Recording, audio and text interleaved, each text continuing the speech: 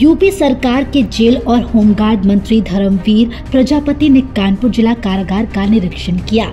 Jail पहुँचे मंत्री के आगमन को लेकर जेल प्रशासन ने उनको गॉड ऑफ़ ऑनर देने के साथ सुरक्षा के पुख्ता इंतज़ाम भी किए। निरीक्षण के दौरान यूपी सरकार के जेल मंत्री धर्मवीर प्रजापति ने कहा कि सरकार निरंतर जेलों में बंद कैदियों के लिए मानवीय संवेदना को देखते हुए उनकी सुख सुविधाओं के लिए प्रयास कर रही है, क्योंकि सभी कैदी पेशेवर अपराधी नहीं होते हैं। हमने रक्षाबंधन पर कैदियों को राखी बांधने वाली बहनों की सुविधाओं से लेकर नवरात्रों में जेल में बंद बंदियों के फलहार तक की व्यवस्था सुनिश्चित करने के आदेश दिए थे।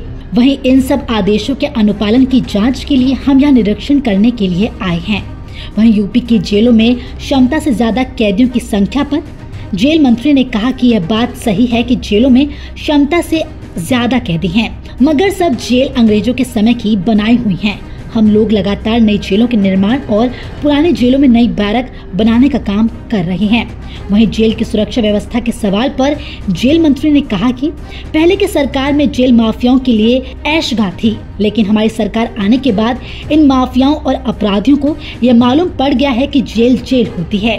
वहीं इंडिया गठबंधन पर मंत्री ने निशाना साधते हुए कहा कि सब अलग अलग होकर एक हुए हैं।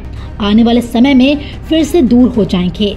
वहीं ऐसे में सहारा समय संवाददाता अनुराग श्रीवास्तव ने यूपी सरकार के जेल मंत्री धर्मवीर प्रजापति से कई मुद्दों पर बातचीत की। आइए सुनते हैं उन्होंने क्या कुछ कहा।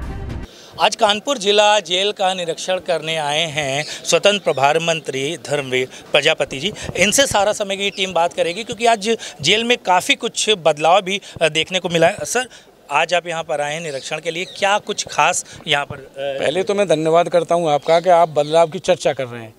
और ये बड़ी बात है। हम लोग जो कर रहे हैं और आप उसकी चर्चा कर रहे हैं आप तक जानकारी है आप चर्चा कर रहे हैं तो ये हम लोगों के लिए एक उत्साह बदन का काम भी करता है। आ, सभी जेलों में शारदीय नवरात्रों का शुरू हुआ तो हमने मौखिक निर्देश दिया फिर लिखित में निर्देश दिया कि जो भी बंदी व्रत रहे उनको फलाहार की अच्छी से व्यवस्था हो। आ, सभी बंदी पेशेवर नहीं हैं। अनायास घटित घटना में बड़ी संख्या में कैदी हैं।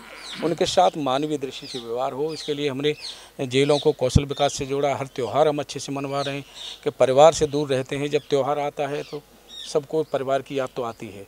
और जब उनका परिवार से दूर है, त्यौहार अच्छा बनेगा तो शायद हो सकता है वो ज़्यादा इतने परेशान परिवार को लेकर हो, उसमें थोड़ी कमी आए। आज हमने संवाद भी किया है कैदियों के साथ। तो जब कनेक्ट किया है उनके परिवार से। उनको बताया है कि आपके जेल में आने के बाद आपका परिवार किन परिस्थितियों से गुजरता है। तो तमाम बंदी भावुक भी हुए। आज उन्होंने संकल्प भी किया है कि हम जीवन में अगर न्यायालय के माध्यम से जब बाहर जाएँगे तो दोबारा कोई गलती नहीं करेंगे, जिसके कारण हम जेल में आए और परिवार हमारा बाहर संकट में रहे। जेल की अगर जिला जेल की यहाँ कानपुर की बात करी जाए तो काफ़ी यहाँ पर ऐसे प्रयास किए जा रहे हैं एक बदलाव को लेकर कैदियों को मानसिक रोग से थोड़ा मुक्त करने के लिए। एक एफएम की भी सुविधा यहाँ पर करी गई है। कुछ किचन्स भी यहाँ पर खोले गए हैं नहीं? इस पर क्या कहना चाहेंगे बहुत कुछ बदलाव हो रहा है हमारा। हर जेल में अभी मैंने देखा है बंदी बैग बना रहे थे बंदी मोजे बना रहे थे। बंदी हमारे जो मूर्तियाँ होती हैं भगवान की उनके नीचे जो आसन बनता है वो आसन बना रहे हैं।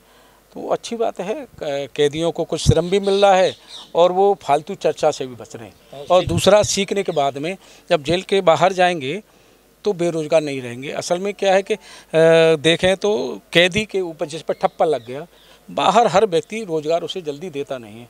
इसलिए हमने जेलों में कैदियों को कौशल विकास एमी से जोड़ने का प्रयास इसलिए किया है कि जब वो बाहर जाएँ तो किसी के काम के भरोसे नहीं रहें स्वयं वो स्वरोजगार से जुड़ सकें। ये प्रयास हमारा है। रोज़गार के लिए अगर ये बात करी जाए तो यहाँ पर कई कैदियों ने हाई स्कूल की और इंटर की परीक्षाओं के लिए भी फॉर्म भरा है। क्या उनकी पढ़ाई के लिए कुछ विशेष व्यवस्था करी हाँ निश्चित रूप से। हमारे हमारे सभी जिलाधिकारियों से हमारा कहना है कि जो बंदी हाई स्कूल इंटर की परीक्षा देना चाहते हैं, उनके लिए दो दो घंटे के लिए टीचर भेजे जाते हैं, किताबें उपलब्ध कराई जाती हैं उनको, पढ़ने का पूरा मौका दिया जाता है। पिछले साल भी, दो साल हुए हैं हमारे कार्यकाल में, दोनों बार हाई स्कूल इंटर में नब्बे परसेंट हमारे कैदी पास हुए हैं, जिन्होंने परीक्षा दी, उसमें नब्बे परसेंट। एक सर अंतिम और अहम सवाल कि आप होमगार्ड मंत्री भी हैं। अगर बात करी जाए तो 100 में लगभग 60 प्रतिशत होमगार्डों की इस समय तैनाती 40 प्रतिशत जो रिक्तियाँ हैं वो अभी खाली हैं। इस पर किसी तरह का विचार हो रहा है उसको पूरी करने माननीय मुख्यमंत्री के संज्ञान में है और हमने चर्चा उनसे की है। तो ये थे हमारे साथ मंत्री जी जिन्होंने सारे सवालों के जवाब सारा समय के कैमरे पर दिए।